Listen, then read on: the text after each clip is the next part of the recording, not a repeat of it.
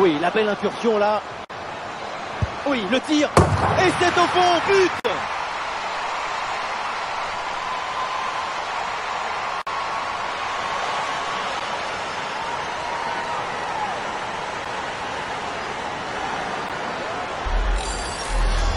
Le ballon s'envole, hein, on le revoit et il vient frôler, presque caresser la barre transversale. Et finalement, ça rentre et c'est parfaitement validé par la vie.